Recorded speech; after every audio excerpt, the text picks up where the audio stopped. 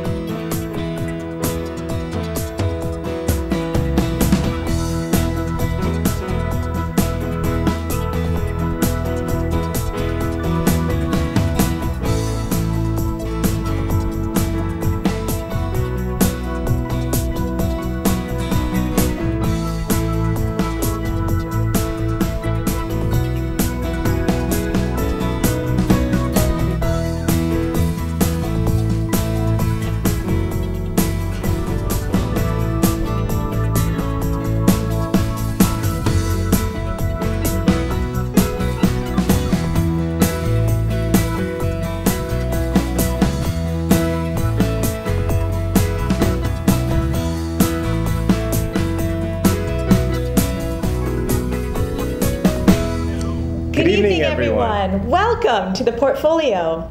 The Portfolio is an exciting new show that takes an up and close personal look at Korean Americans who are living their dreams and inspiring others along the way. And if you'd like to see a particular Korean American on our show, please visit our website and write us a note. Sojung, today we have a very special guest. Really? You know, who is that? I'm so Well, curious. before I reveal the guest to you, I have to ask you a question. All right. What's your favorite superhero? Superhero. ah, gosh. Batman, Superman? Yeah, I don't know a lot about superheroes, I have to admit, but um, the one that comes to mind would be Wonder Woman. But of course, smart, strong, sassy. Fierce, she is Fierce, fierce. too. Yes, we can only aspire to be like her. Well, well, how about you? You know, when I was growing up, I really liked Spider Man. He was a little Okay. geeky. He grew up in New York City. Oh, kinda- we like the geeky types. I always fell for them in college. Ah, well, so Spider Man used to be my favorite, but I have a Yeah. new favorite now. Okay. Yeah, it's a superhero who looks like me. It's the first time, I think, in the American comic book world where we have someone Asian American. Yeah. His name is Amadeus Cho. Cho, Jo, Joshi, Cho. That's wow. Korean American as can be. Interesting. Yes. And today, mm-hmm. we don't have Amadeus on the show, but we have Oh, his creator. it's even better. We have his creator. oh, great. Now I'd like to introduce you to the mastermind behind Marvel Comics' Incredible Hulk, Incredible Hercules, The Astonishing X-Men. And he's also an award-winning filmmaker, Greg Pak. Thank you.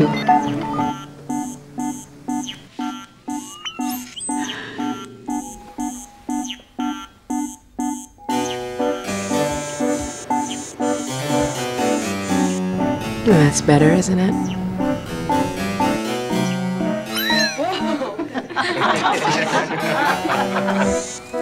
The more we interact, the more I can tailor my work to your expectations. Thank you so much. Pleasure to be here. Please have a seat. Thank you very much. Ah, Well, we're thrilled to have you here. And um, I have to say, I actually did do a little research on Greg. I was just joking about Amadeus Cho, although we'd love to hear more about him and, and learn more about him as well. You have an illustrious career, and so I would like to read off some of. Um, what you have accomplished thus far. Uh, you have studied political science at Yale University and uh, Oxford University as a Rhodes Scholar, which is so impressive. Uh, you also studied film production at NYU Graduate School and um, made numerous short films while you were in film school. Uh, your film Fighting Grandpa won a Student Academy Award, and uh, you made a feature film titled Robot Stories, and it still has a tremendous following. Uh, and then you were picked up by Marvel Comics right after an incredible fest- festival run and have written numerous series, uh, including, as Kevin mentioned, The Incredible Hulk, Incredible Hercules, Astonishing X Men, Battlestar Galactica, Magneto, Testament. Uh, Vision Machine and Dead Man's Run. Uh, in between writing comic books, you've been making short films that have garnered many awards in various film festivals in the world. So, Greg, what a journey it has been. I'm out of breath just listing all of that. And it's an incredible portfolio you have, but I, I kind of wanted to go a little bit and start with a little bit about your personal background. Uh, if you could just share with us where you were born. Right. Well, I, I was born in uh, Maryland. Uh, my father was working for the NIH at the time, National Institute of Health. And uh, we moved to Dallas, Texas when I was about three and a half years old. So I grew up in Dallas and uh, was there until I was 18, until I went to college. Oh. So- Did you grow up speaking Korean? No, no, I did not. Uh, That's my the greatest shame of my life is Oh, not speaking I Korean. know. I'm pretty good in a restaurant. I can, I can, I can name the food, um, but uh, no, I don't Your, speak. your father was Korean? Yes, my yeah, my father's Korean, my mom is Caucasian. Well, speaking of your Korean heritage, uh, that leads us right into Fighting Grandpa, Yes. which uh, is based on the story of uh, your own experiences with your grandparents. Right. My yeah. My uh, my grandparents um, came to the country a lot earlier. I mean, fairly early for when you when you look at the kind of history of Korean immigration. I mean, I grew up visiting my grandparents in Hawaii with my family. Um, you know, seeing a lot of them over the years, and uh, I love my grandparents. I thought my grandfather was very funny. I mean, he was a, he had a lot of little quirks. Like he would pick up anything he saw on the street. So he had like these. Um, he had tons of jars of like. Uh, like screws and nuts and bolts and things that he had picked up on the street. Uh, when he got sick and passed away, I realized that nobody in the family really, at least nobody in, in my father's generation or my generation, really felt like they knew him. I. Uh, and so when I was in film school, um, I, I, I mean, I ended up making this documentary, which was the original thought was, okay, I'm going to go talk to everybody in the family and find out who my grandfather was. Um, um, but the longer I worked on it, the more I realized that this really became a story about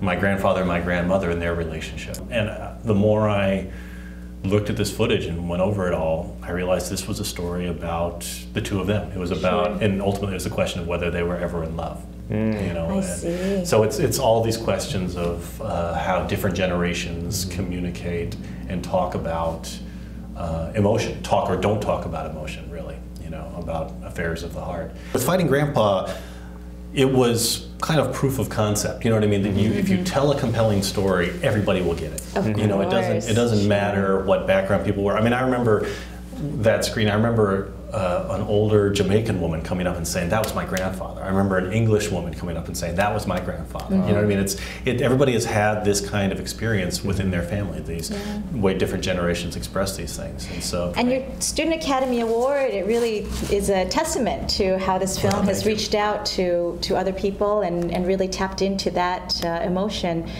I mean, I'm the kind of person who, when I made when, when I was making those short films, I was sending them everywhere. You know, to place. I, I remember a friend of mine in film school saying, "Why are you spending thirty dollars to submit your film to Sedona, Arizona?" You know what I mean? Like, you're, you're not going to get an agent out of Sedona, Arizona. And and for me, it was just. I mean, I was just an evangelist. It was like because I want people in Sedona, Arizona, to see you know this this film with these Yes. Korean people in it or whatever. That's you know? incredible. Um, but so so just that experience of seeing it with an audience is always a thrill, and when you see it with an audience that big, there's something special that you you know that's in the air. But yeah, I mean, it was through there that I ended up getting an agent after all of that, and uh, that was the agent that eventually hooked me up with Marvel much later on down the line. Let's let's talk a little bit about your history. Be- Uh, you really growing up and, and having that aha moment. This is what I want to do. I grew up in Texas. I, uh, uh, you know, half Asian kid. Um, I was hyper aware of race at a very young age. Ninety percent of the time, hanging out with my friends and with you know the, the the kids in the neighborhood, it was all. I mean, it was just great childhood. But every once in a while, I would bump into kids I didn't know or circumstance, you know, other circumstances, and and um, you know, encountered you know racist kids doing the Chinese Japanese dirty knees thing with the eyes and all of that. The thing that I'm always grateful for is that my parents raised us to be proud of who we were, mm-hmm. and you know we're very upfront about you know you know dad's family is from Korea, mom's family you know ancestors from Europe. You're mm-hmm. Eurasian, you know what I mm-hmm. mean? Like mm-hmm. they had a name for it. You, you could be proud of that. It was cool to be who I was. You know Right, that I had every right, and that racism was wrong, and all That's of that. great. So Wow. so as a very young kid, I you know like I would I would get teased. I'd be very angry, but um, but it was self-righteous anger, Right, which is much better than self-hating anger. anger you know what I mean? Yep. So But when did you realize you had this talent for writing, for creating stories, storytelling? I had a mom who did not buy us coloring books. She bought us crayons and paper, blank paper. Um, and the house was always full of books, and she would take us to the public libraries every weekend.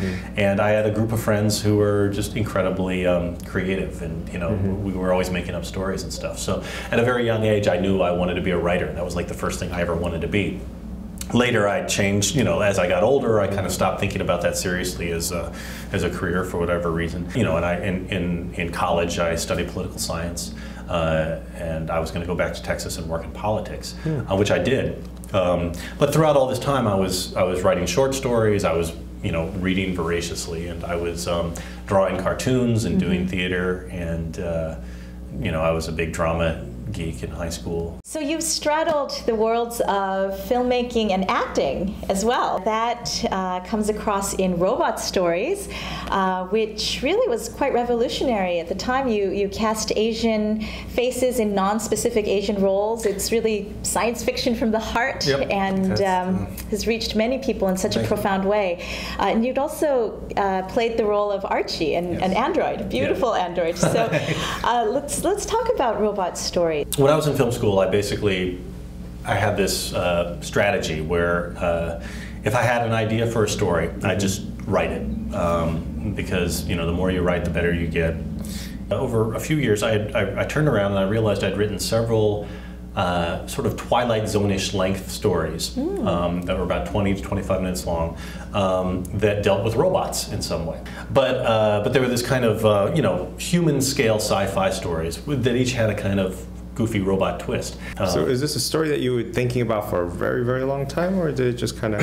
No, I mean, like the, the Archie story specifically, it's a story about a lonely android who's an office worker. Um, you know, he's sent out in the world, he's programmed to fit in. I, I had worked uh, a few jobs in high school where I was, um, I had one high school where I was working an office job, uh, and uh, my, my, fam- my folks were out of town, so I was home alone, and uh, all my friends, for whatever reason, my, a lot of my friends were out of town too. So I'd go into this, and, and I was working this office job where I was working by myself. And then I, you know, and then my big thing in the in the evening would be go, go to Blockbuster to get a, Right. get a video to watch, and um, and I'd be wearing, you know, my office worker drone outfit, which was khaki pants and a blue shirt, and, and invariably people would think I worked at Blockbuster.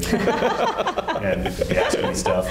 Um, and uh, so, you know, it was just kind of a crummy experience. I mean, everybody's had that kind of thing, Right. but um, and maybe so maybe that that that informed it. I mean, I, I dressed Archie like that. He's he's wearing khaki pants and a blue shirt.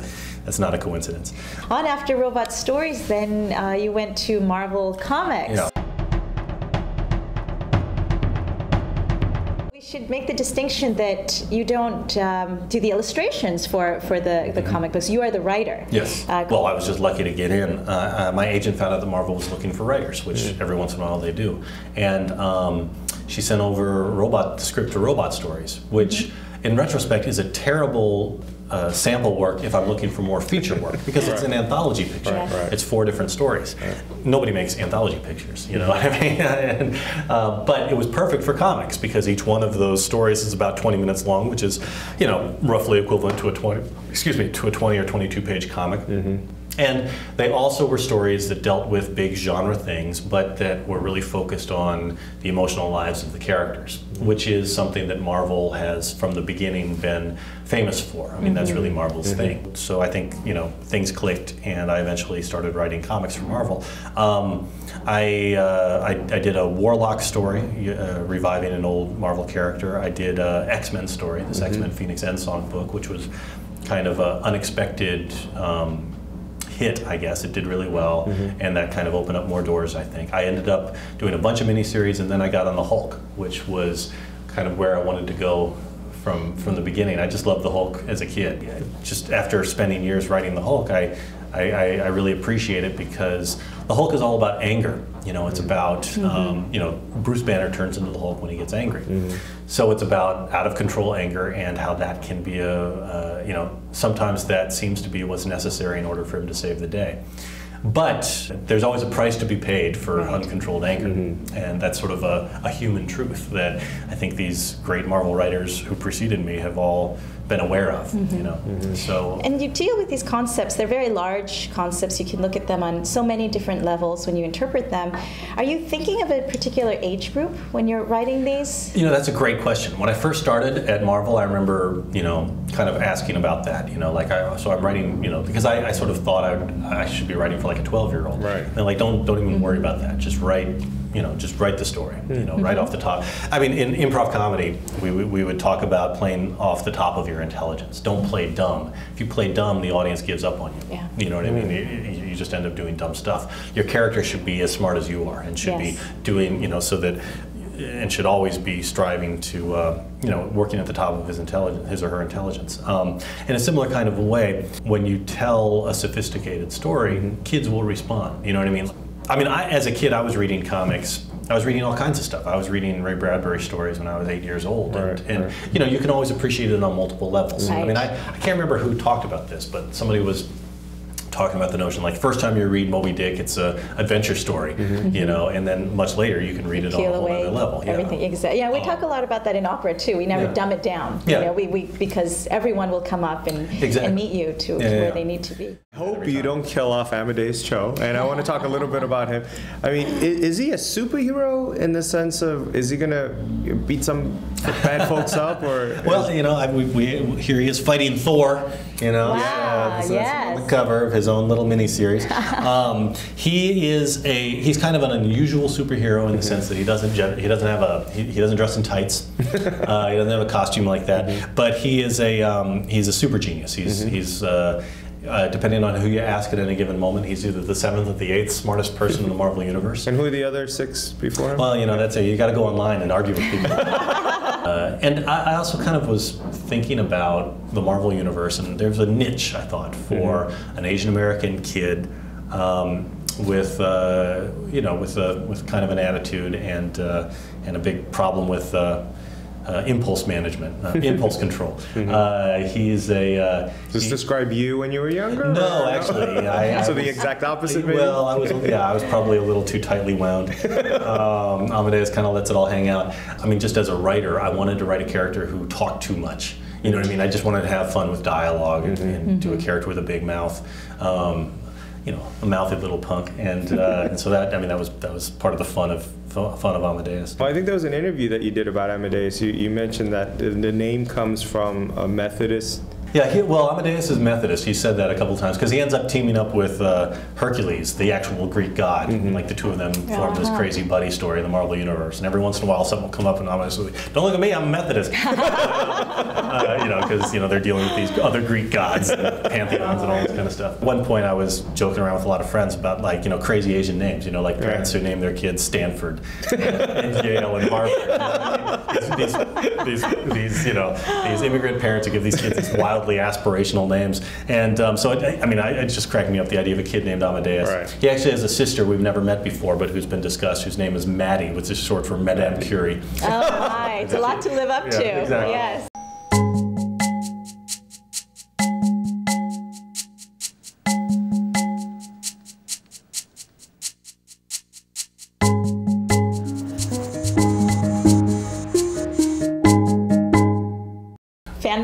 From, from a lot of the, your readers? I get a lot of feedback these days via Twitter. That's right. where People can follow you on Right. Twitter now. Exactly. Very Greg good. Pak, G R E G P A K. That's uh, Yes. just find me on Twitter there. um, but yeah, that, that's I think one of the reasons why it has such a excited fan base is that comic writers and creators in general tend to be pretty accessible. Um, I mean, these comic conventions Yeah. have been going for decades, and that's a place where you know uh, comic fans can meet meet the creators of, of their favorite heroes. And that's a special thing about comics that I think has translated pretty well into the world of the internet. A lot of comics creators are on Twitter. It's sort of like the it's kind of the water cooler for the comics industry. Are you ever influenced by the feedback that you get? Yeah, what I can say is that there are fans out there who know far more about these characters' histories than I ever will. You know what I mean? Like I've read, I've read hundreds of Hulk comics, but there are plenty of fans who have read them all. I've learned a lot from fans. I can ask on Twitter, what are your favorite Silver Surfer stories, for example? People will suggest stuff, and I can go, you know, and very quickly figure out what the classic stories are. And and uh, if I'm researching the Silver Surfer, that's very helpful. How far in advance do you already have the storyline? Uh, usually, by the time you hear about a storyline, um, the writer and the editor have agreed on where that story is going, all the big beats of the story, you know, um, and uh, several issues have been written. I mean, in comics, things can change very quickly, um, and stuff can happen incredibly fast. Uh, uh, you know, I mean, a, a script that I'm writing today can come out in final comic book form in two months. So it can be a very quick turnaround. So there's plenty of room to, you know, to bob and weave. But that bobbing and weaving, it's not smart to bob and weave in response to, you know, if a fan is angry about Hulk getting beat up in this issue. Right, right. There's going to be a comeuppance that's planned for six issues from now. So I'm, I'm not going to have that comeuppance happen next issue because people are mad right now. You know what I mean? It's like that's going to ruin the whole arc. Right. You know what I'm saying? It's like I, uh, you know, you have to trust yourself.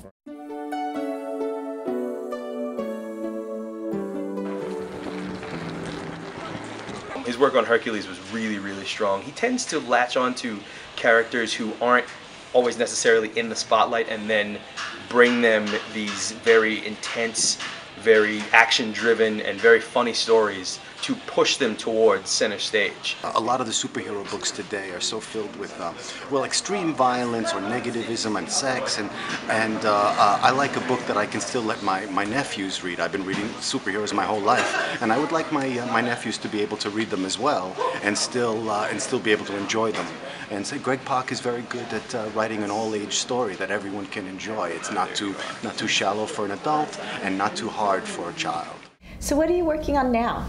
So now I've got uh, two. I finished up my. We're finishing up the whole our whole thing with Herc. I finished up my Hulk run, waving a fond goodbye to the big green Goliath, um, and I'm starting a run on Astonishing X Men. And I'm doing a book with a different company called Aspen, um, and uh, in conjunction with Gale Anne Hurd. Gale Anne Hurd is the legendary producer of Aliens and Terminator, and now of the Walking Dead TV show. And we're doing this comic book together called Dead Man's Run, which is a jailbreak from hell. So literally, it's a supernatural thriller with. It's got an amazing reviews. Well, yeah, we, we, we the first the number zero issue came out. Right. Is that the first time a number zero issue? No, it's a fairly recent convention, but the idea is that there's in comics there are such things as zero issues, which is uh, kind of an introductory issue. So, Greg, would you please share with our audience some words of wisdom? Uh, any of our aspiring uh, comic book writers or filmmakers, uh, just lessons that you've learned. Right. Well, I mean, in terms of practical on how to get into the industry, I, I it's it's tough to say because everybody gets in from a totally different route. But if you want to be a writer in particular, anything you read ever is going to be important to you someday. I did a storyline called Planet Hulk, where the Hulk was exiled to an alien planet, and I got to create this whole alien planet, which means I got to create its geography, its ecology, its zoology, its mm-hmm. religions, its sociology, its history. You know, so anything I'd ever learned mm-hmm. came in handy. You know, mm-hmm. um, and all of that ended up serving this big story about the Hulk. You know, so yeah, I mean, I, I think being a voracious reader is a big part of becoming a becoming a writer. The advice I give, it, it boils down to three things. Read as much as you can, write as much as you can, and rewrite. Just keep rewriting. And, and uh, find a group of friends who will give you genuine feedback. I mean, I think what you're looking for is um, supportive but rigorous. You know what I mean? You're like you don't want to surround yourself with jerks who are trying just to cut you down. Right. Um, although you can learn a lot from jerks, surprisingly enough. Um, but you want to, you know, I mean, ideally you, you, you find a group of people who are all endeavoring to get better, and, and you're you're going to genuinely try to figure out what each other is trying to achieve and help figure out help them figure out how to do that better. Just doing the work, getting it out into the world, do really short things so that you can actually finish them. I had a film school professor who would always say, "This is not your epic" when he was talking about short films. This is not your epic. Um, It's not your time yet. and, and it's hard to hard to accept that when you're when you're working on that project that means everything. But but doing something really short that you could finish, carry all the way through to the end, and get out into the world, then you can sit in an audience and learn a huge amount by seeing what works and what doesn't. If there's something that's happening and nobody else seems to notice, but if it's bothering me, there's that little man inside who's saying there's something wrong here. You need to pay attention to it. Listen to that little man because otherwise you're going to regret it forever when it's done. Well, thank you so much for Thank your you Total very pleasure. Thank you so much. much for having Thank you. thank you.